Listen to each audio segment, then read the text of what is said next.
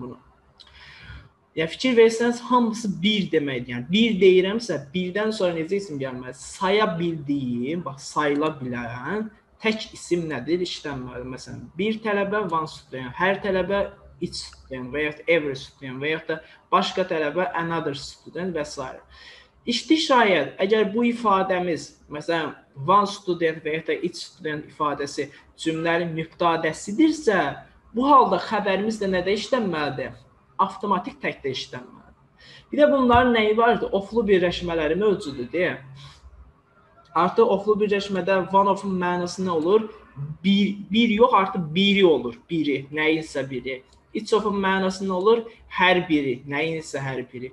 Bir də belə bir şey deyəcəyik ki, every of deyilən birləşməmiz yoxdur. Onun əvəzində nədən istifadə edəcəyik? Every ayrı, one ayrı, yəni every one of-dan istifadə edəcəyik hər biri mənasında. Eyes of olacaq biri, nice of olacaq heç biri, another of da olacaq başqa biri olacaq. Və artıq fikir versək, nəyinsə biri deyirəmsə, bax nəyinsə biri deyirəmsə, demək ki, çox şeydən birini seçərəm, doğrumu? Onda artıq tələbədən biri demərəm, nə deyirəm? Tələbələrdən biri deyərəm. Artıq nə olacaq? Tələbələrdən biri olacaq. Tələbələrdən də biri dediyimə görə xəbər də nədə işlənəcək? Yenə təkdə işlənəcək. Yəni əsas burada nəyə diqqət edəcək? Tərcümə. Yəni bunları tərcümə bilmək lazımdır əsas şərt olaraq. İndi gəldik ikincisi. Sayılan cəm isimlərdən işlənən miqdar göstəricilərimiz hansılarıdır? Few az idi, A few biraz, bir neçə, bir qədər deməkdir. Both hər ikisi deməkdir, hər iki deməkdir. Several bir neçə deməkdir. Numerous çoxlu deməkdir. Numerous məsələn e, yadda saxlayın, number sözü yoxdur. Number 1 2 3 4 5. Oradan yadda saxlaya bilərsiniz ki, yəni sayılan isimdən işlənir. Many çoxlu deməkdir. A great many ilə a good many də bir xeyli bir xeyli bir çox demək. Yəni bir xeyli və ya bir çox. Ya da qısaca elə çox şəklində də yadda saxlaya bilərsiniz. Amma oradakı a great ilə a good-dakı e sizi aldatmasın. İfadənin quruluşu elədir, yaxşımı? Bir xeyli bir bir çox deməkdir. Özlərindən sonra hər zaman necə isim tələb edəcəklər? sayıla bilən cəmsim. Hər zaman sayıla bilən cəmsim tələb edəcək. İşti şayət yenə bu ifadələr cümləmizin mübtədəsi olsa, xəbər yenə cəmdə işlənməlidir. Yəni mübtədə olsa xəbər yenə cəmdə işlənəcək. İndi bir şeydir. Bunlar oflu birləşməsində də qayda dəyişmir. Məsələn, e, yenə özündən sonra cəmsim gəlir, xəbər yenə nədə işlənir? Cəmdə işlənir. E, bir dənə fikir versən, yuxarıda məsələn tələbələrin sən biri dediyinə görə Diqqət et, yuxarıda tələbələrin biri dediyinizə görə xəbər tək olub. İndi aşağıda tələbələrin sən biri demirsən, tələbələrin ikisi deyirsən və ya da bir neçəsi deyirsən, çoxu deyirsən, bir xeylisi deyirsən və s. və ya bir neçəsi deyirsən, yəni artıq 3-4 şəxsi göstərdiyin üçün xəbər avtomatik nədə işlənməlidir? Cəmdə işlənməlidir. Və yenə fikir verdiyiniz kimi tərcümə əsas şərt şərt kimi bilməli olduğunuz məqamdır. Yəni Yaxşı gəldik üçüncüsü. Sayılmayan isimlərin işləyən miqdar göstərəcəyimiz hansılardır? Little az idi, a little biraz idi, much çox idi. Bunlardan sonra işləm işlənirdi sayılmayan isim və xəbər əgər mübtəda yerində işlənsə, xəbərdə təkdə işlənir. Həmçinin bunların oflu birləşməsində də qayda keçir, eyni şəkildə keçərdir ki, özündən sonra sayılmayan isim xəbərdə nədə işlənməlidir? Təkdə işlənməlidir. Bir də bir şey unutmayın ki, bax sayılmayan ismin qabağında, qarşısında, e, önündə hansı miqdar göstərici yazmağınızdan asılı olmayaraq xəbəri hər zaman təkdə işlənməlidir. Yəni ə, e, sayılmayan isim az da ola bilər, çox da ola bilər, fərq etməz. Yəni onun azlığı və ya çoxluğu xəbərə təsir eləmir. Yəni sayılmayan ismin xəbəri hər zaman nə olmalıdır? Tək işlənməlidir. Bir də belə bir ifadələrimiz var idi. Əgər xatırlayırsınızsa, a great deal idi, a small amount, a large amount demişdik ki, bunlardan sonra nə işlənməz? İsim işlənməz. Bəs bunlardan sonra isim hansı halda işlənə bilər? Of varsa işlənə bilər və özü necə isim tələb edir bunlar? Ancaq və ancaq sayılmayan isim nədir? Tələb edirlər. Məsələn, a great deal of-un mənası nə deməkdir? Bir çox, bir xeyli deməkdir. A small amount balaca miqdarda, a large amount böyük miqdarda deməkdir. Bunlardan sonra işlənəcək sayılmayan isim xəbər də hər zaman nədə işlənəcək? Təkdə nədir işlənəcək. Bir də burada bir, ə, əsas diqqət eləyəcəyiniz məqamlardan biri biz nə olsun ki, buradakı aradakı large-dır, small-dur və yaxud da great-dir sizi çaşdırmasın. Yəni bu sözləri istəsəm yazmaya da bilərəm. Yəni ifadəni belə də yaza bilərəm. A deal of da yaza bilərəm və yaxud an amount of yazaram. Yəni arada miqdar göstərsin, yazmaya da bilərəm. O miqdar sadəcə elə bir miqdarın azlığını və ya çoxluğunu göstərmək üçün orada elə bir small, large, great sözləri nədir? yazırlar. Davam edin. Növbəti. Həm sayılan cəm isimdən, həm də sayılma isimdən işlənən miqdar göstəricilərimiz hansılar idi? Bax, birincisi all idi, bütün deməkdir. Sonra some bir neçə, bir ne, bir qədər, biraz deməkdir. Sonra more çoxlu deməkdir, most əksər deməkdir, enoughdır kifayət qədər deməkdir. Bunlardan sonra işlənəcək ya sayılan cəm isim işlənəcək, ya da sayılmayan isim işlənəcək. Və burada da xəbər artıq, xəbər biz nədənsə isimdən asılı olacaq. Sən əgər bütün tələbələr deyirsənsə, xəbərin cəm olar. Yox, əgər bütün məlumat deyirsənsə, xəbər təkdə işlənir. Və burada oflu birləşmədə də qayda dəyişmir eyni şəkildə. Ya özündən sonra yenə cəm isim, ya da sayılmı isim tələb edir. Yenə xəbər nədən asılı olacaq? İsimdən bilavasitə asılı olacaq. Məsələn desəm ki, tələbələrin tələbələrin bir neçəsi xəbər cəm, amma desəm ki, some of the information məlumatın bir qədəri avtomatik xəbər nə olacaq? Tək işlənəcək. Bir də belə bir ifadə var, yazıda düşürsə demişdik ki, elotdur, lotsdur, plentydir. Bunlardan sonra isim işlənməz. Bəs nə zaman isim işlənə bilərdi? Arada of işləndiyi halda. Məsələn, a lot of students və ya da a lot of information. Yenə də özündən sonra bu ifadələr ya cəm isim ya da salmi isim tələb edir. Xəbər deyəni isimdən sonra, isim cəmsə xəbər cəm, təksə tək olacaq. Yəni salmi isimsə xəbər tək olacaq. Ya a lot of-dur, lots of-dur, plenty of-dur. Bəzən sizi çaşdırmaq üçün, məsələn, elə bir sınaqlar olur ki, məsələn, belə bir suallar yazmışıq. Hətta kursun kitabında da belə bir sual tipi var ki, məsələn, a lot of-u bilirlər, qəsdən a plenty of yazmışıq. Amma a plenty of deyilən birləşmə yoxdur. Orasına məsələn diqqət edin. Məsələn, çaşdırmaq üçün, yəni hər an istifadə edə biləcəkləri bir variantdır, yaxşımı? Plenty of var, amma a plenty of ifadəsi yoxdur. Davam edin. Növbəti no ilə nanın fərqi. Hər halda yadımıza düşər. Çünki demişdik ki, nodan sonra istənilən isim gələ bilirdi. Yəni təkdə, cəmdə, sayılmayanda istənilən isim işlənməsi mümkündür. Sadəcə xəbər nədən asılı olacaq? İsimə görə dəyişəcək. Əgər tək isimdirsə xəbər təkdir, cəmdirsə təbii ki, xəbər cəmdə işlənəcək, sayılmayan isimsə xəbər hər zaman nədə işlənəcək? Təkdə işlənəcək. Amma nonun nəyi yox idi? Yəni xatırlayırsa nonun nəyi yoxdur? Oflu birləşməsi nə idi? Yox idi. Bəs nanda nə idi? Nan isə bunun tam əksi idi. Tam əksi. Məsələn, nandan sonra isim gəlməzdi. Nodan sonra isim gəlir, amma nandan sonra isim gəlmir. Nodan sonra of olmur, amma nandan sonra of ola bilər. None of da nə deməkdir? Heç biri. Bax, none of heç biri. Heç biri demək. Bax, tələbələrin heç biri dediyimə görə yenə xəbər nə olacaq? Təkdə işlənəcək. Məlumatın heç biri dediyimə görə yenə xəbər nədə işlənəcək? Təkdə işlənəcək. Yəni fikir verdiyiniz kimi tərcümə yenə əsas faktor daşıyır. İndi belə deyək, bunlar bu gördüyünüz ifadələr var. Ha, hamısı nə sayılır? Miqdar göstəricisi. Oflu birləşmələrin də əvəzlik sayılır o heç. Orası girməyəcək, vacib bir şey deyil. Bəs bu miqdar göstəriciləri əvəzlik kimi işlənə bilərlərmi? İşlənə bilərlər. Yəni əvəzlik kimi işlənməsi bilirsiniz nə deməkdir? Yəni əvvəldə adı çəkilmiş ismi əvəz eləyib, tək başına işlənməsinə deyirlər əvəzlik kimi işlənməsi. Əvvəldə adı çəkilmiş ismi əvəz eləyib, tək başına kimi tək başına işlənməsinə deyirlər əvəzlik kimi işlənməsi. Məsələn deyirəm ki, a lot of proposals, çoxlu təkliflər presented təqdim edildi but few lakin azı qəbul edildi. Hə, baxsan burada few-dan sonra isim işlənmir. Niyə işlənmir? Çünki əvvəldəki ismi zaten əvəz edib. Çoxlu təklif təqdim edildi, lakin azı qəbul edildi. Few nə edib? Qarşısındakı ismi nə edib? Əvəz edib tək başına, yəni əvəzlik kimi işlənir. Və ya da deyirəm ki, kasada deyirəm çoxlu meyvə var idi, var idi. Lakin but I didn't eat any. Mən yemədim, heç yemədim. Burada eni tək başına işlərim. Nəyə əvəz edib yenə? Qarşısındakı ismi nəyi əvəz edib. Və ya da deyirəm ki I have two brothers. Mənim iki qardaşım var. Neither can play basketball. Heç biri basketbol oynaya bilmir.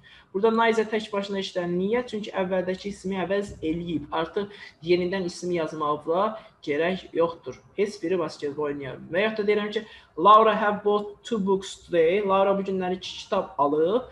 Both hər ikisi, hər ikisi deyirəm are on historical monuments. Hər ikisi tarixi abidələr haqqındadır. Neynədir burada yenə both? Əvvəldə adı çəkilmiş ismini neynədir? Əvəz edir. Yəni hər iki kitab nə haqqındadır? Tarixi abidələr haqqındadır.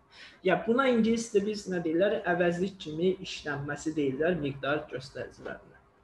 Yaxşı fikir versəniz, yəni demək olar ki, ingiliscədəki %99% miqdar göstəricisini isim kimi işlədə bilərik. İsim kimi işlədə bilmədiklərimiz biz hansılardır? Oflu birləşməsi olmayanlar. Oflu birləşməsi olmayanlar. Yəni burada baxın, no ofun birləşməsi yoxdur, doğrumu? Demək no-nu tək başına işlədə bilmirsən. Amma digərləri işlənə bilir. Sonra bayaqlar dedik, every tək başına işlənə bilməz, doğrumu? Orada bura aid edə bilərik. İndi bunu qısaca belə bir qeyd kimi yadda saxlasanız, yəni bu vacib bir şərtdir. Yəni bununla bağlı çoxlu testlər qarşımıza çıxacaq. Bax, everydir, nodu bir də azədir. Bu üç dənəsini tək başına işlənmə forması yoxdur. Yəni tək başına işlənmə forması nə deməkdir? Məsələn, burada few qarşıdakı ismi əvəz edir, tək başına işlənir. Yəni əvəzlik kimi işlənə bilir.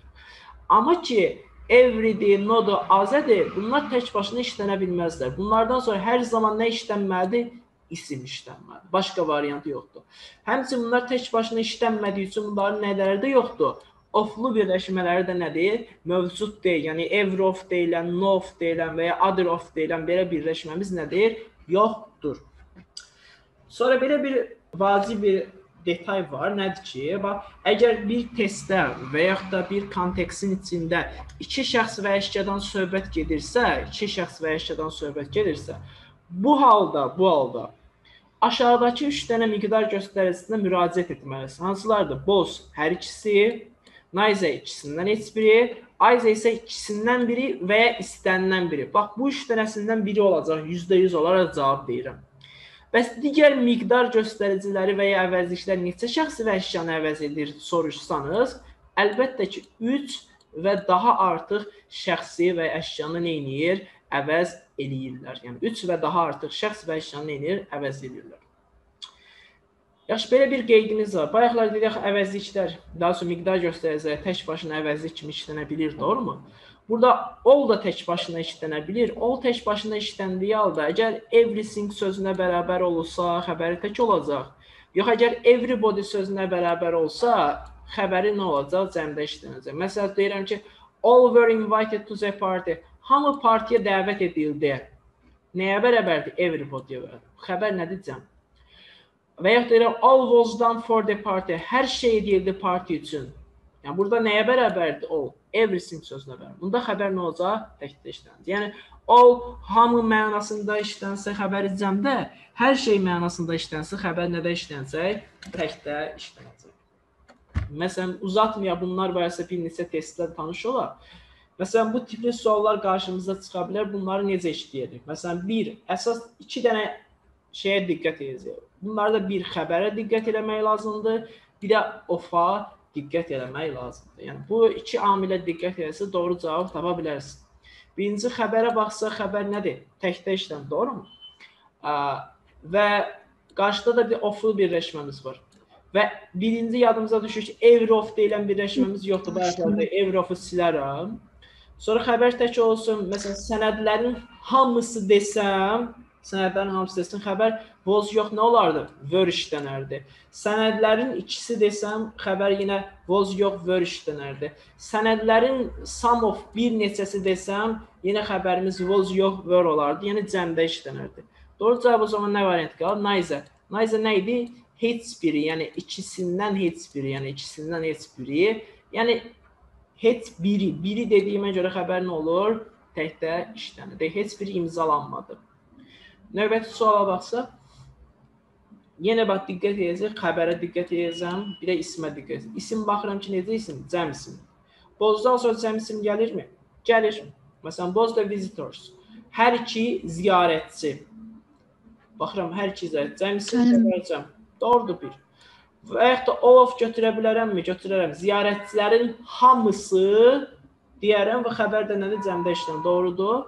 Bir də son of götürə bilərəm. Ziyarətçilərin bir neçəsi, yəni 3-dən artığı, yəni 3-ü, 4-ü, 5-i, ziyarətçilərin bir neçəsi yenə cəm isim xəbər cəmdə işləm doğrudur. Lakin vanla iç variantını götürə bilməyəcəm. Niyə? Çünki bayaqlar dedik, vandı, içdi, evridir. Bunlar özlərinə sonra necə isim tələb edir? Sayılan tək isim tələb edir. Onda bu variantları yem silirəm. Doğru cavab 1, 2, bir də 5-ci variantdır. Növbəti suala baxsaq. Növbəti sualda bax deyir ki, zəhmət olsa verin mənə ərizələrin filan kopyasını mənə mənim üçün də verin. İndi baxıram burada burada bir şey deyim. Bunu silin. Sizə silməyə yerə yoxdur. Biz artıq düşür də. Burada var da mənə verin. Və bax burada fikir versəniz, copy sözü, nüsxə sözü nədir? Tək isimdir. Və mat bayaqları dedik ki, necə isimlər işlən? Sayıla bilməyən isimlər. Amma nüsxə hmm. sözü sayılsın, bir nüsxə, iki nüsxə deyə bilirsən. Onda mat variantı ola bilməz. Getdim. Sonra boz olsa boz hər ikisi deməkdir, iki deməkdir. Bozdan sonra copy yox, artıq copies olardı. Yəni bozdan sonra necə isim gələrdi? Cəm isim gələrdi.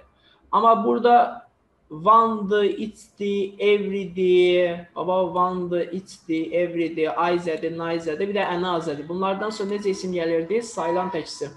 Hə, yəni indi mən burada iç copy, every copy hər bir nüsxəsi deyə bilərəmmi? Deyərəm. Ənazə copy-də desəm, yəni daha bir nüsxəsi, yəni başqa bir nüsxəsi anlamına nədir? Gələcək. Yəni özündən sonra sayıla bilən tək isim tələb edən variantları götürməli idim. Yəni 3, 4, 5-ci variantlar edəcək. Növbəti suala baxsaq.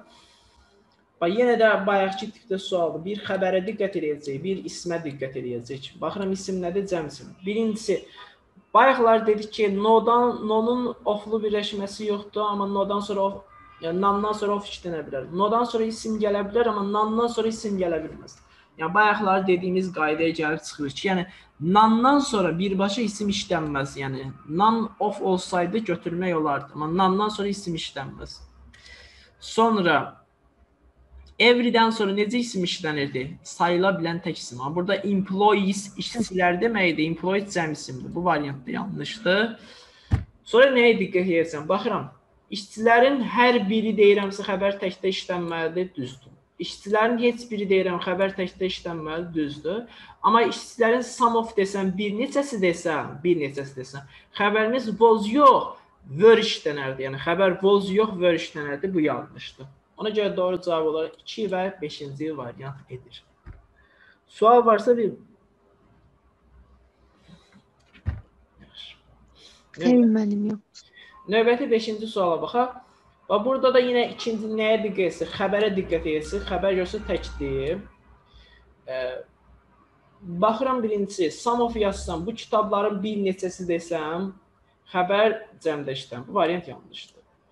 Bu kitabların hər ikisi desəm xəbər cəm olardı, iz yox ar olar. Kitabların hamısı desəm iz yox ar olardı. B və D variantları qalır. Kitabların heç biri və ya da each of o da hər biri deməkdir. Baxıram, hər ikisi ola bilər axı. Heç biri də desən xəbər tək, hər biri də desən xəbər tək işlənir. Bəs burada nəyə diqqət edəcəm? Ətol anlayışına diqqət edəcəm. Ətol ingiliscəsində əsla, heç, qətiyyən, ümumiyyətlə, tamamilə deməkdir. Nə bildirir? Neqativliyi yaradır. Yəni ət olan, ət ol olan cümləni mütləq nə, nədə vermək lazımdır? Neqativdə vermək lazımdır. Yəni inkarda vermək lazımdır. Ona görə cavabını götürəsən B variantı. Bu kitabların heç birini ümumiyyətlə oxumağa dəyməz. Deyir, bu kitabların heç birini ümumiyyətlə oxumağa dəyməz. Doğru cavab B. Növbəti, bir dənə də bununla bağlı suala baxaq. Bax, yenə oflu birləşməmiz var. Bayaqlarda Evrof deyilən birləşməmiz yoxdur, sildi. Əgər yadınızdadsa, törəmə vəzifələr dərsini keçəndə, ilk turda keçəndə belə bir qayda demişdik. Törəmə vəzifələrdən sonra isim gəlməz, bir də oflu birləşmələr nədir? Yoxdur. Yəni anybody of və ya da somebody of deyilən birləşməmiz nədir? Yoxdur. Qaldı B ilə C variantı N of Q qalır. Sizin hansınız kömək edə bilər? Və tamamlıq yerində də, tamamlıq yerində də siz adlıq yox, obyekt al işləyərsiniz. Yəni Z yox nə işləyər? Z işlədərsiniz. Ona görə cavabı nə götürəcəm? B. Deyir ki, sizin hansınız can any of you help them? Onlara kömək edə bilər. Sizin hansınız onlara kömək edə bilər? Doğru cavab B. İndi bayaqlar bir dənə qeydimiz vardı. Burada cavab nə olacaq? Bir dənə özünüz düşünün. Aha, A variantı. Bayaqlar belə bir şey yazdıq. ya. Dedik ki, əgər cümlədə iki şəxs və əşyadan söhbət gedirsə və onlar arasında seçim ə, tələb olunursa, orada 3 dənə əvəzlikdən istifadə edildi. Hansılar idi? Mayza, Boz, Ayza. Bəli. Nayza Boz. Boz, Nayza, bir də Ayza. Bəli. Ayza. İkisi Nayza ikisindən biri, Ayza da ikisindən biri. Qalan variantlar demişdim neçə şəxs və əşyanı göstərir? 3 və daha artıq. Yəni ol 3 və daha artıq, any 3 və daha artıq və yaxud da oldu, nandı 3 və daha artıq şəxs və əşyanı nədir? Göstərir. Sonra nəyə diqqət edə bilərəm? Məsələn, burada of-u görürsüz də, no of deyilən birləşmə yoxdur ingiliscə. Bu da yanlış. Bayaqlar dedik everydir, no-dur, azədir. Bunların oflu birləşməsi yoxdur. Sonra dördüncü nəyə diqqət edəcəm? Burada xəbər görün ki, ikinci boşluqda cəmdir. Novanda törəmə əvəzliyidir. Törəmə əvəzliklərində xəbərlər nə olmalıdır hər zaman? Tək də işlənməlidir. Doğru cavabında nə qalır? A variantı qalır. Deyir ki, bu iki divar kağızından hansını üstün tutursan? Deyir ki, nice them. Onların heç birini because çünki both hər ikisi are in poor quality. Hər ikisi aşağı keyfiyyətdədir. Yəni zəifdir, yəni. Növbəti bir dənə də bununla aid suala baxsa. Yəni bəs sualı heç tərcümə etməsən cavabı tapmaq mümkündür. Yəni ona görə baxın diqqət edin.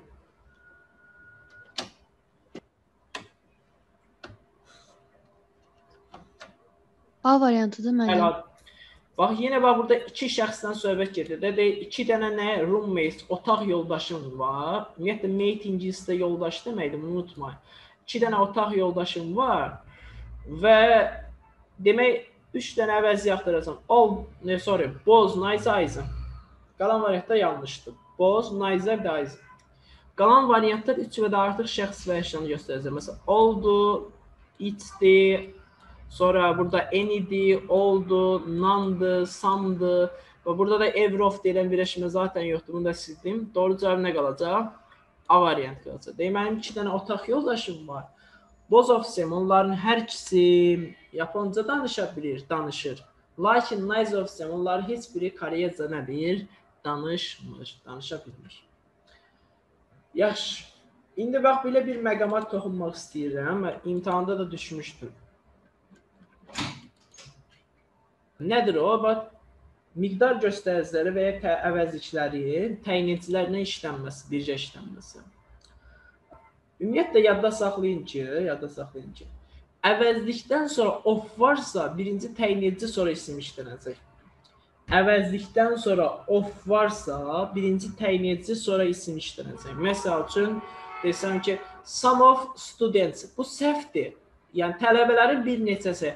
Af, sən tutar ki, deyirəm ki, uşaqlar, bütün tələbələrin bir neçəsi yatıb dərsə qoşulmuyub.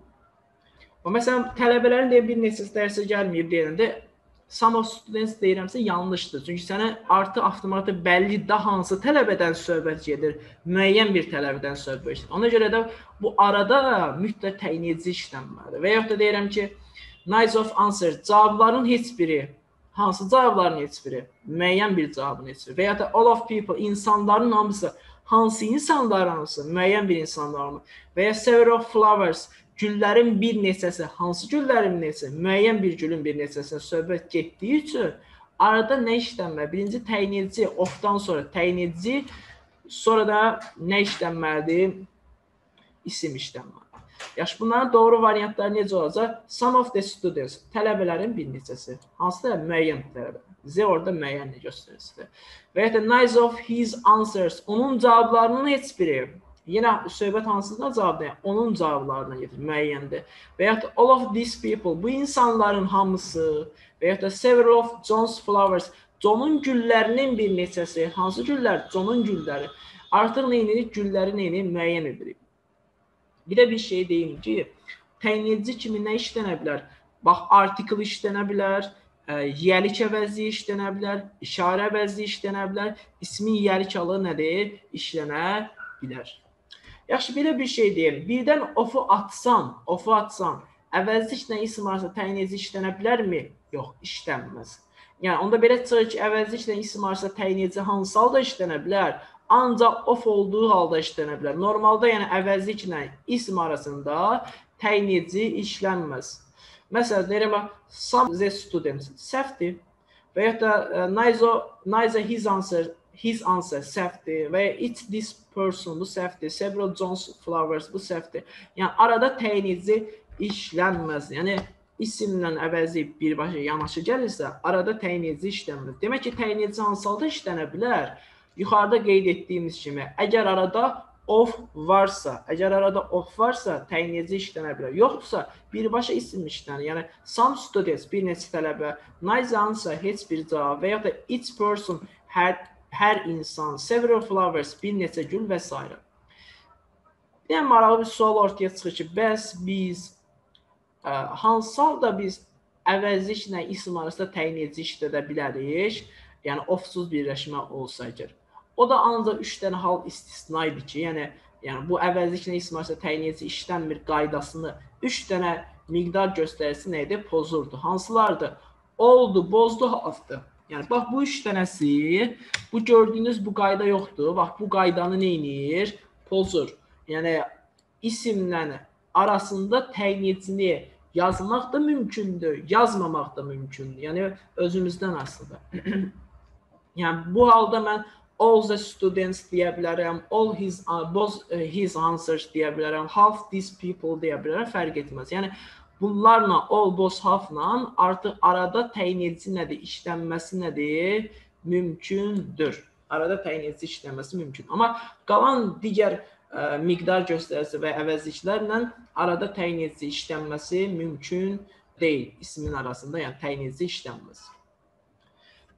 Suallarım bundan bağlı. A. Müəllim. Demək belə bir şeydir. Bax ə, böyük əksəriyyət uşaq mən bilən doğru yazıb. Yəni mən cavabları atan, soruşan uşaqların böyük əksəriyyətində baxdım doğru yazıblar. Amma təkcə uşaq var ki, məsələn səhv yazmışdı.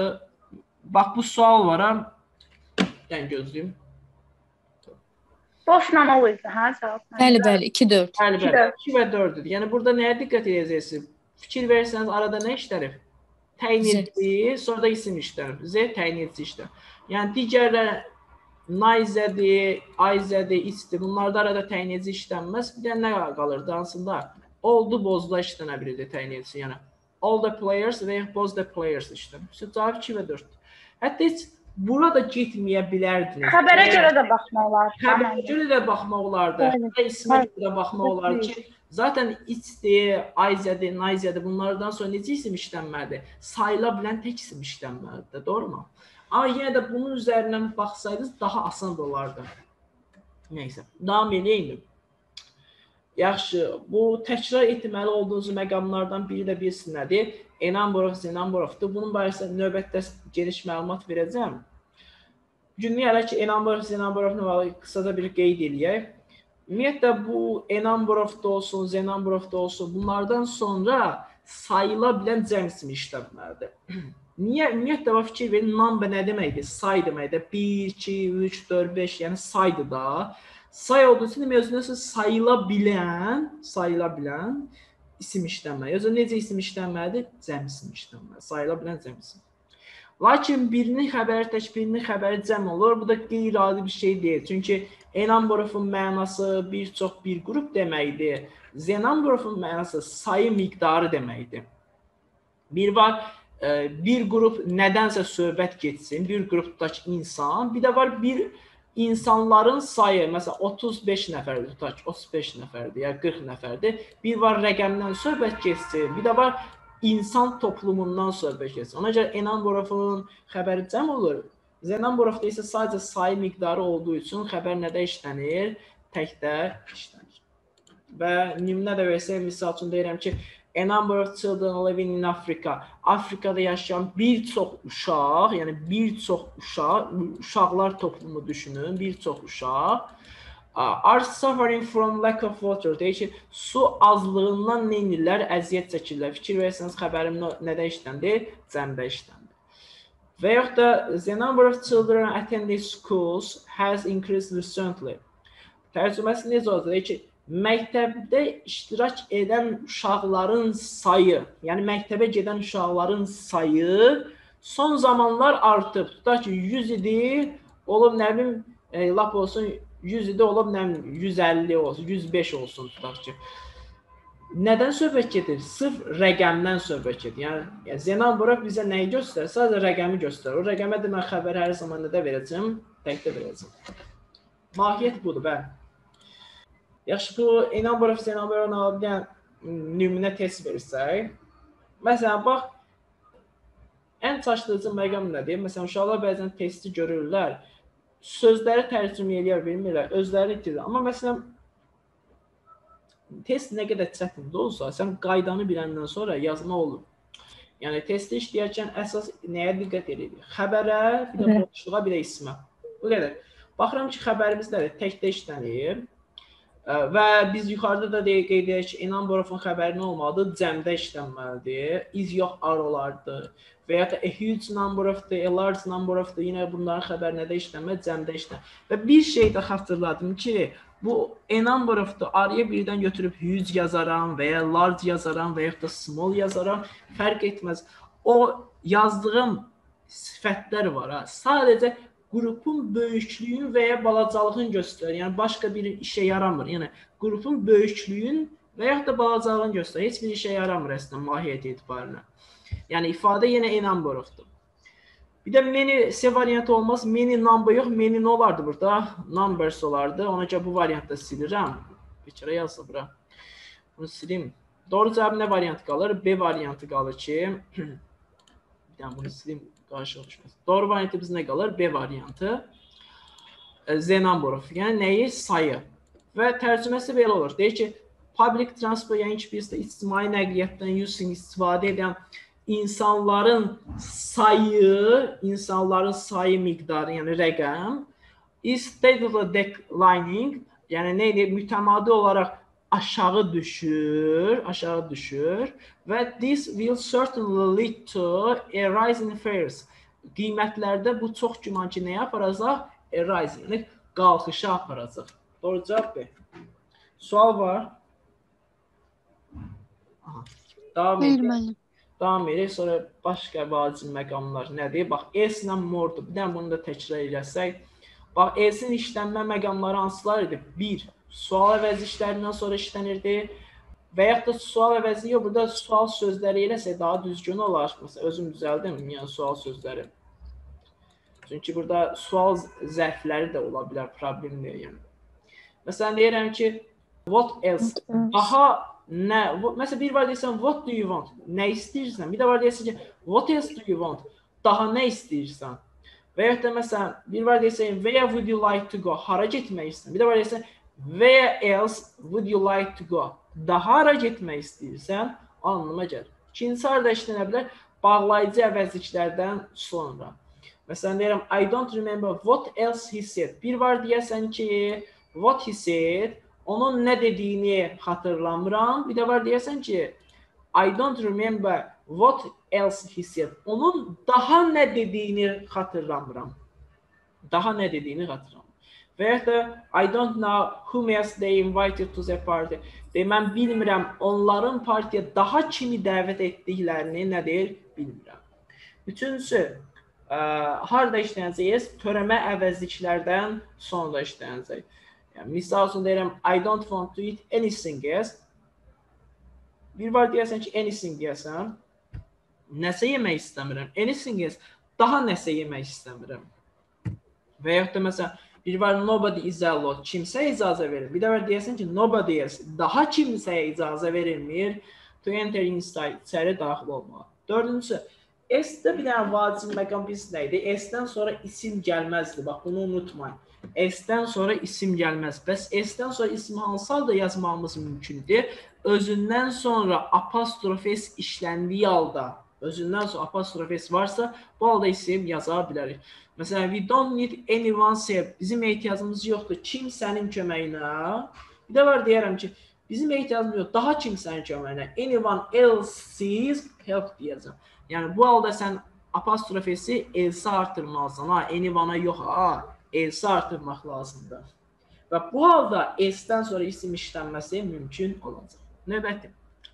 Gəldik more. More da mənası daha mənası var. Bəzən qarışdırırlar, ona da e, toxunaq. More-u iki cür işlədə bilərəm. Birincisi miqdar göstərici kimi. Ümumiyyətlə ki, hamı bilir də bu e, bu matchdır, manydir. Bunların müqayisə dərəcəsi nə idi? More idi.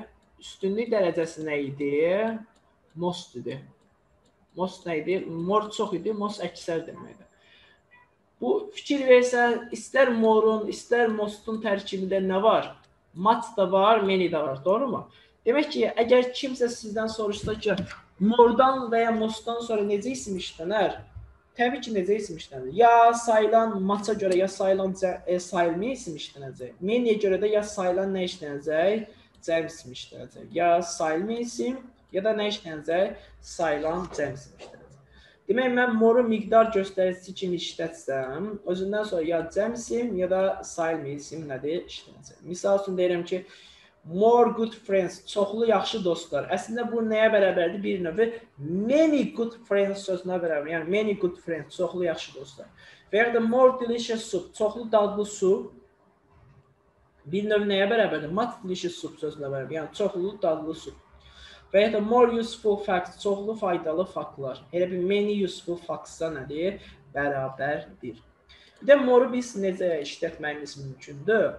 Moru ortada işlədə bilərsiniz. Bu ortada işlədiləndə mənası biz nə olacaq? Daha olacaq, daha.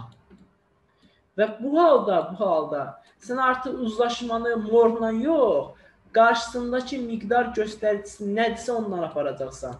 Yəni qarşıdakı miqdar göstərsin nədirsə, onunla uzlaşma aparılacaq. Məsələn, one more question. Daha bir sual. Daha bir sual. Artıq more-la yox, one-la aparacağam.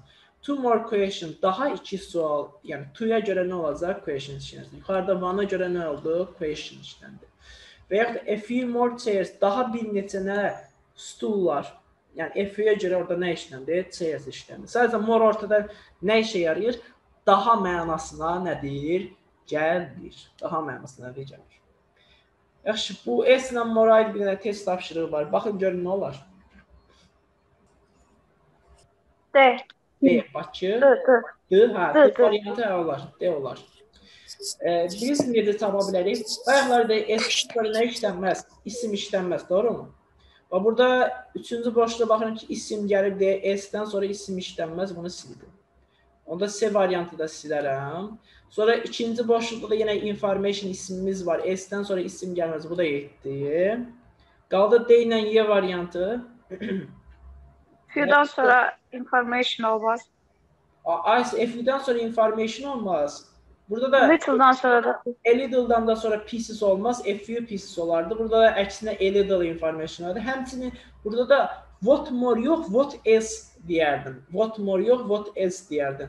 What else daha nə siz mənə demək istəyirsiniz bunun haqqında? Else deyər. Daha what more deməzsiniz.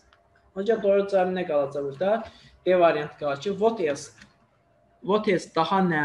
Deyir, siz mənə bunun barəsində daha nə demək istəyirsiniz?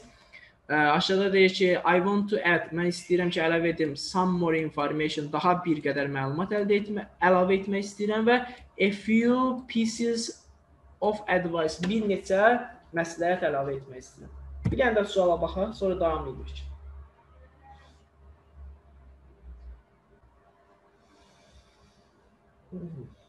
Tamam, yəni baxdıq.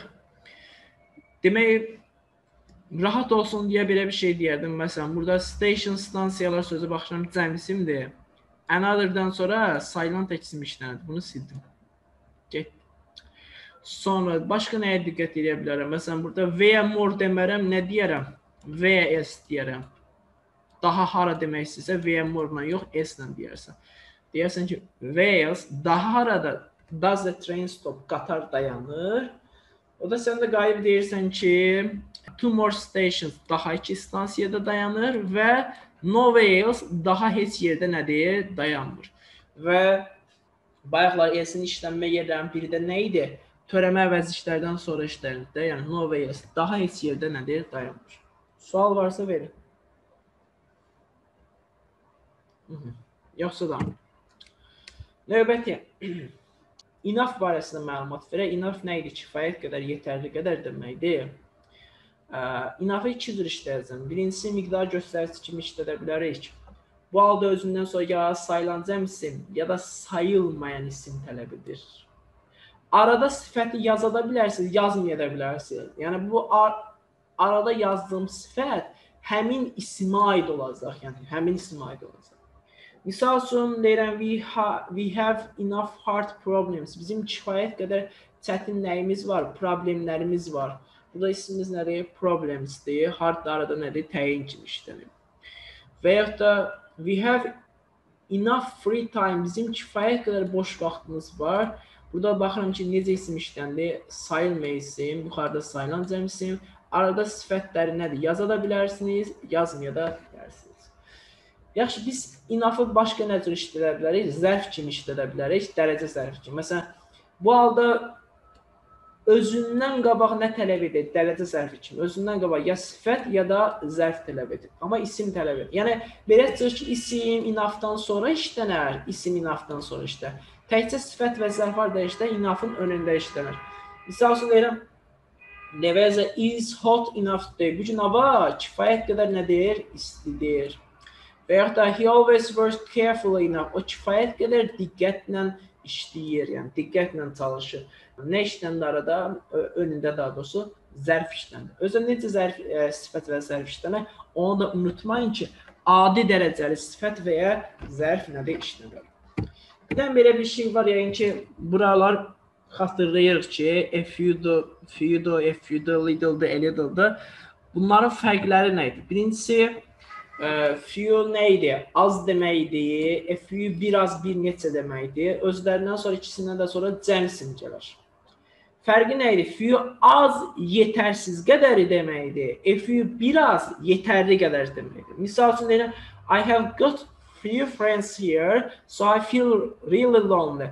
Mən deyim burada az dostum var. So ona görə də özümü olduqca yalnız hiss edirəm. Yəni az var və yetərsiz qədər var, yəni özümü nə edirəm? Yalnız hiss edirəm.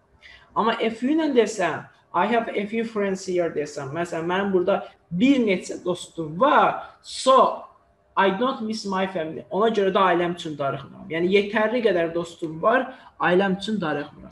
Little və a little-da da qayda eyni şəkildə keçərik. Little az deməkdir, a little biraz deməkdir. Hər ikisindən sonra sayılma ismi işlənəcək. Və yenə də eyni şəkildə az yetər, little az yetərsiz qədər, a little biraz yetərli qədər anlamda işlənir. Məsələn, we have got little time, bizim az vaxtımız var, up, tələs, yoxsa qatarı qaçıracağıq. Və yaxud da we have got a little time, bizim biraz vaxtımız var qatar çıxmadan öncə. Shall we go to buy something? Nəsə almağa gedəkmi? Yəni nəsə almağa gedəcək qədər nədir? Vaxtımız var, yəni yetərli qədər vaxtımız var. Yaxşı, belə bir şey deyil. Little və little-dan sonra necə isim işləndi? Az və biraz mənasında necə isim işləndi? Sayılmayan nədir? İsim işləndi. Lakin yazda gəlsə dərsdə deyir ki, little-ı biz nə kimdə işlədə bilərik? Small kimi, yəni Balaca. mənasında işlətsək, bu halda özündən sonra sayılan isimdə nədir? İşlənməsi mümkündür. Məsəl üçün deyirəm, a little house, balaca bir nə ev, balaca bir ev. Elə bir bir növ nəyə bərabərdir? A small house sözünə bərabərdir. Balaca bir ev. Əgər biz balaca bir ev deyə biliriksə, balaca evlər də deyə bilərik. Balaca evlər də deyə bilərik. Məsələn deyirəm ki, little houses, balaca evlər. Və yaxud da elə bir nəyə bərabərdir? Small houses, balaca evlər sözünədir, bərabərdir. Bir də bu a little bir də F ilə bağlı belə bir qaydamız vardı. Yazda yazsa deyir, only a few just a few, quite a few və ya da only a little, just a little və quite a, a little kimi ifadələrimiz var idi. Bunlardan sonra eyni atsanız yanlışdır. Bunlarda nə ilə işlənəcək? E ilə işlənəcək yəni. Və burada belə deyim də only ilə just-ın mənası nə idi? Yalnız biraz deməkdir. Yalnız sadəcə az, e, yəni, yəni miqdarı bir növ biz nə edir? Kiçiltmək üçün işlənir. Yalnız sadəcə deməkdir. Məsələn, only if-i sadəcə biraz və ya yalnız da bir neçə fərq etməz. Amma quite if və quite a little isə miqdarı artırmaq üçün işlənir. Məsələn, bax nümunə üzərindən baxsaq, məsələn, I know only a few things about this place. Mən bu yerlər barəsində yalnızca bir neçə şey bilirəm. Sadəcə bir neçə şey bilirəm. Neynədir? Miqdarı kiçiltdim. Amma quite a few ilə desəm, məsələn, we have quite a few problems recently. Bizim kifayət qədər problemlərimiz var son zamanlarda. Yəni yetərli qədər problemimiz var və yaxud da bizim ə, bir xeyli problemimiz var son vaxtlarda. Yəni a few-nun əslində tərcüməsi dilimizə bir xeyli kimi tərcümə olunur. Yəni bir növ neyini miqdarı artırır və miqdarı artırır və xarici ədəbiyyatlarda kvakefni menya bərabər eləyirlər. Menya bərabər. Yəni çox sözünə bərabər olur. Yəni kvakefü miqdarı azaltmaq yerinə neyinir? Artırır. Yəni bir növ nəyə bərabərdir? Menya bərabərdir. Eyni zamanda only a little, just a little da eyni şəkildə yalnız biraz deməkdir. Quite a little isə bir xeyli deməkdir. Yəni artıq quite a little da nəyə bərabər olacaq? Much sözünə nədir? Bərabər olacaq. Növbəti. Yaxşı. Bu ə, quantifiers dərsində ən çox qarşılanan məqamlardan biri də nə idi? Soy ilə saçın fərqi idi. Onun, onun üzərindən biraz təkrar eləyək. Son nə deməkdir? Elə belə olduqca çox deməkdir. Özündən sonra ya sifət ya da zərf tələb edir. Nə işə yarayır? Sadəcə özündən sonra gələn o həmin sifəti və zərfi nə edir? Qüvvətləndirir. Məsələn, deyirəm ki, the weather is so cold today. Bu gün hava çox soyuqdur. So cold, yəni olduqca soyuqdur. Və yaxud da he always drives so fast. O olduqca nə edir? Sürətlə maşın sürür. Nə işdəndir özünə? Zərf işdəndir. Yəni so burada nə edir? Sifət və zərfi qüvvətləndirmək məqsədinə işlənir. Çox soyuqdur, olduqca soyuqdur və ya çox sürətlə, olduqca sürətlə maşın sürür. Bəs saç nə işə yarayırdı? Saç elə belə mənasında işlənirdi. Özündən sonra isim tələb edirdi. Bax, önəmlidir ha. Saç özündən sonra isim tələb edirdi. Yəni saçdan sonra isim işlənər ya da saçdan sonra sifət üstəyəl isim işlənər. Yəni saç üstəyəl isim ya da saç üstəyəl sifət üstəyəl isim nədir? işlənlər. Misal deyirəm, I love such weather. Mən belə havanı xoşlayıram. Özə necə isim işlənər soruşsanız, uşaqlar istənilən isim işlənə bilər. Sasdan sonra istənilən isim yaza bilərsiniz. Sayılmayanda, sayılan təkdə, sayılan cəmdə yazmağın nədir mümkündür. Arada sadəcə sifəti yaza da bilərsiniz, yazmaya da bilərsiniz, amma mütləq isim nədir işlənməli. I love weather. Mən belə havanı xoşlayıram. Və ya I love such sunny weather. Mən belə günəşli havanı xoşlayıram. Və ya I like such a film. Mən belə filmi bəyənirəm. Və ya I like such an interesting film. Mən belə maraqlı filmi bəyənirəm. E, belə bir filmi bəyənirəmsə, belə filmləri də bəyənə bilərəm, doğrumu? I like such films. Mən belə filmləri bəyənirəm. I like such interesting films. Mən belə maraqlı filmləri bəyənirəm. Ya fikir verirsən sayılan sonra sayılmayanda, sayılan təkdə, sayılan cəmsimdə, yəni bütün hamısı nədir? İşləndi. Yəni heç bir sıxıntı olmadı. Yaxşı. Onda belə çıxır ki, sodan sonra sifət zərf, sasdan sonra isə nə işlənəcək? İsim işlənəcək. Bəs sodan sonra isim gələ bilərmi soruşsanız, bəli, gələ bilər. Amma hansı halda gələ bilər sodan sonra isim? Əgər sodan sonra arada miqdar göstəricisi, hansı miqdar göstəricisi, many-dir, few-dur, much-dur, little kimi miqdar göstəriciləri işlənibsə, bu halda özündən sonra isim gəlməsi nədir? Mümkündür. Bu halda özündən sonra isim gəlməsi mümkündür. Misal üçün deyirəm ki, I have made so many reports. Mən çoxlu yeni hesabatlar nə etmişəm? Hazırlanmışam. Bir daha bunu qeyd edeyim. Bax burada fikir versən ismimiz reports-da hesabatlar. Reports many-yə görə burada reports ol. Yadda saxla. Many-yə görə burada reports ol. Bəs so burada nə işə yarayır? Sadəcə so burada many sözü yoxdur. Many neyini qüvvətləndirir. Mən bir var çox hesabat hazırlamışam. Bir də var deyim mən olduqca çox hesabat hazırlamışam. O özü üz üstə olduqca çox yeni hesabat hazırlamışam. Bir də bir şey unutmayın ki, burada sonun əvəzinə, sonun əvəzinə siz veri də həmçinin to da yaza bilərsiniz. Məsələn, burada götürür too many new reports da deyə bilərəm. Very many new reports da nədir? Deməyim mümkündür. Yaxşı, davam edək. Bax, fikir versən, sonradan sonra hansı miqdar göstəricilər işləndi? Many-dir, few-dur, must-dır, little-dır, bunlar işləndi. Amma bir dənə şey də unutmayın ki, bax bu to veri sonradan sonra var ha, to veri sonradan sonra. Article-la başlayan heç nə işlənməyəcək. Bax bunlardan sonra article-la başlayan heç nə işlənməyəcək. Yəni siz to-dan, very-dən, so-dan sonra article-la başlayan nə varsa yanlışdır. Yəni article səhvdir, yəni article işlənməz. Bunlardan sonra article işlənməz. Yaxşı, veri sodan sonra many, much, few, little və ə, few işləndi. Bəs ə, such ə, nə hansı miqdar göstəricisində işlənəcək? Such isə yalnızca nə ilə işlənəcək? A lot of-la işlənəcək. Misal üçün, is such a lot of wheat. Burada deyirəm, olduqca çoxlu nə var? Buğda var və yaxud da belə çoxlu buğda var və elə çoxlu buğda var və s. də tərcümə etməyimiz mümkündür. Saçdan sonra yəni yeganə işlənəcəyimiz miqdar göstəricisi a lot of-dur. Bəs saçdan sonra belə deyim, onda little-dır, a little-dır, few-dur, a few-dur bunlar işlənmədiyi, işlənmir, doğrumu? Amma burada saçdan sonra little-ı mən nə kimi işlədə bilərəm? Ancaq balaca mənasında işlədə bilərəm. Amma miqdar göstəricisi kimi yox, balaca mənasında işlədə bilərəm.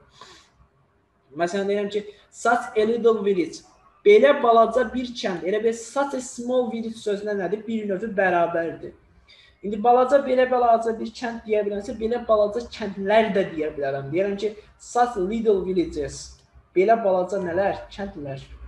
Demək ki, such-dan sonra yeganə işlənəcək miqdar göstəricimiz əslində a lot of-dur. Amma such-dan sonra little və a little görsəniz, onu balaca mənasında ancaq işlədə, işlədə bilərsiniz. Balaca, yəni small mənasında işlədə bilərsiniz ancaq. Yaxşı. İndi buna aid bir neçə testə baxsaq, baxın. Bir dəqiqə. Nə olar burada cavab? Biz nəyə diqqət edirsən? Birinci, burada baxıram cold nədir? Soyuq, sifətdir, doğrumu? Saçdan sonra isim gəlməzdir. Bu variantları sildik. Demək birinci tərəfə %100 nədir? Sodur. Deyirəm hava elə elə soyuq idi ki, ə, yəni olduqca soyuq idi. Lakin ə, mənim güllərim hələ də canlı və ya diridir. Ə, nədə? Belə soyuq havada. İndi burada da baxıram ki, burada weather hava isim gəlib deyə, sodan sonra isim gəlməz. Hava sözdə sail mevsim olduğu üçün ona görə mən qabağına e yazmaram. Nə yazam? Such cold weather deyəcəm. Deyəcəm belə soyuq havada. Such cold weather. Növbəti bir dənəsinə baxsaq.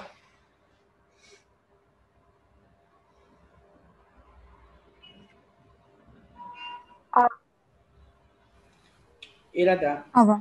Və burada baxıram isimimiz nədir? Children uşaqlar isim gəlir. Sodan sonra isim gəlir. Bunu sildim. Uşaqlar cəmsimində saç edəmərəm, saç deyirəm. Xoşumda oldu. Belə uşaqları görübsən? Belə uşaqlar görübsən? No, I haven't. Xeyr, görməmişəm. De onlar nədir? Olduqca kobuddur. Burada da root isim ə, sifət gəldiyi üçün, təkcə sifət gəldiyi üçün nəyi götürəcəm? Sonu götürəcəm. So root. Onlar olduqca nədir? Kobud. Sual var mı bura kimi? Aha. İndi belə deyək də evə verəcəyim testlərin içində bir neçə suala baxmaq istəyirəm. Və onunla da bəzi şeylər deyim, yekunlaşdıracaq. Evə belə deyim də, evə bax qaydanı oxuyacaqsınız bu bir. İndi gəldik nəyə tapşırma. Bir də bu qaydanın arxasında, yəni quantifiers'ın arxasında səhifə 65-də e, 120 dənə test var. Onları işləyəcək. Və bu 120 testin içində 2 dənə anlayış var. Nə onu deyim və yekunlaşdıracağam. Nədən anlayış? Bir var düz bir söz birləşməsi. Məsələn, bax burada görün belə bir test varmı? Bir dəqiqə bax bunların içindən baxaq.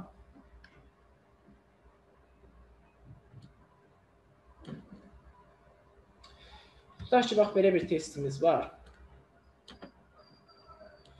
Yəni düz bir söz birləşməsi nədir? Məsələn, arzu sözlər yığınağıdır. Arzu sözlər yığınağı. Belə olan halda sizin hədəf sözünüz yad, yadda salın, hər zaman sonuncu söz olur. Yəni hədəf söz deyəndə, yəni sizin isminiz axırıncı isminiz olur, axırıncı söz sənin ismin olur. Ortada qalan hamısı sənin təyinin olur, yəni sifət olur. Qarşıdakı miqdar göstəricidə axırdakı ismə nədir? Aid olur. O ki qaldı bu ifadəyə gəldikdə isə bu ifadə səhvdir. Niyə səhvdir? Çünki bayaqlar dedik ki, severaldan sonra necə isim işlənməlidir? Ancaq sayılan cəm isim işlənməlidir. Ancaq sayılan cəm isim işlənməlidir. Ona görə deyirəm bayaqki göstərdiyim şeylər yoxdur. Onları əzbər öyrənmək lazımdır ki, yəni testdə də tətbiq edə bilərsiniz. Severaldan sonra ancaq necə isim işlənir? Sayılan cəm isim işlənir. Yəni bu variant buna görə səhvdir. Bir də ikinci nəyə diqqət edəcəksiniz? Əgər ki, əgər ki arada of varsa, arada of varsa. Of bir sərhəd kimi düşünün. Məsələn, dərs prosedurunda loru dildə desə, yəni sadə dildə desə, of dediyimiz şey bir elə bir divardır, bir divardır. Yəni burada qarşısında yazdığımız miqdar göstərisi onun ofa qədər olan ismə aid olur. Yəni burada hər hansı ofun qarşısında isim nədirsə, miqdar göstərisi ona aid olur. Yəni ofdan sonraki ismə aid ola bilmir. Məsələn, ikinci nömrədə bax burada several glasses, several glasses aiddir. Yəni juice meyvə şirəsi sözünə aid deyil. Several glasses aiddir. Yəni bir neçə şüşə meyvə şirəsi. İfadə olaraq ikinci doğrudur. Və ya üçüncüyə baxın, FU burada slice sözünə aiddir. Prosta səhvdir. Niyə səhvdir? FU slice yox, FU slice olmalıdır. Bayaqlar dedik ki, FU-dan sonra necə isim işlənir? Sayılan cəm isim işlənir. Yəni bir neçə pendiri, bir neçə dilim olardı. Dördüncüyə baxsaq, sam burada yenə basket ofa qədər aiddir. Yəni bir neçə səbət, ha, bax səbətlər sözü cəmləmiş. Yəni çünki bir neçə səbət deyirsən, bir neçə səbət pineappleslar ananaslar deməkdir. Yəni səbətdə də bir səbətdə ən azı 2 dənə, 3 dənə və yaxud da 3-4 dənə səbətdə, yəni 10-15 dənə ananas olduğu üçün ananas sözündə nə etmək lazımdır? Cəmləmək lazımdır. Doğru cavab olaraq 2 və 4-dür. Yəni diqqət eləməli olduğunuz məqam nədir? Əgər ifadə düz bir şəkildəsə, axırıncı söz sizin axırıncı söz sizin isminizdir. Yox, əgər of varsa, siz ofa qədər nə etməli lazımdır? Baxmaq lazımdır. Məsələn, bir neçə dənə də işləyək, məsələn, sual. Və məsəl üçün birincidə a lot of burada nə aiddir? Axırıncı sözümüz nədir? Report. Ona aiddir.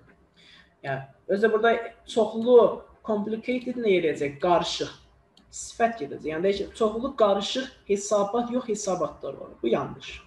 Bax, ikinciyə baxırsan ki, burada of var, of var. Of varsa, ofa qədər baxırsan. Yəni FU burada nə aid olacaq? Bunch aid olacaq. Yəni bir neçə dəstə güllər, yəni bir neçə dəstə güllər. Və bir neçə dəstədə bir neçə gül olduğu üçün güllər sözünü cəmləmişik. Burada FU flowers yox, bunch aiddir. Sadəcə bax FU-dan da sonra necə isim gəlir? Cəm isim. Görsən bunch sözünü nə etmişəm? Cəmləmişik. Sadəcə dəstənin içində bir yox, birdən çox gül olduğu üçün burada flower sözü də avtomatik nə olmalıdır? Cəmlənməlidir. Amma üçüncüyə baxsaq, üçüncü yanlışdır. So much pieces yazmışıq. Yəni so much pieces olmazdı, nə olardı? So many, so many pieces olardı. Çünki pieces cəmsindir. Amma dördüncüyə baxsaq, burada miqdar so many-dir. İsmimiz friends-dir, dostlardır. Devoted arada nə işlənir? Təyin kimi işlənir. Yəni olduqca çoxlu sadiq dostlar. Yəni miqdar göstərisinə aid oldu, axırıncı ismə aid oldu. Yəni bax bunu demək istərəm ki, yəni miqdar yoxsa axırıncı ismə aid olacaq, əgər ardıcıl sözlər yığılsın. Əgər of varsa, ofa qədər nə etmək lazımdır? Baxmaq lazımdır.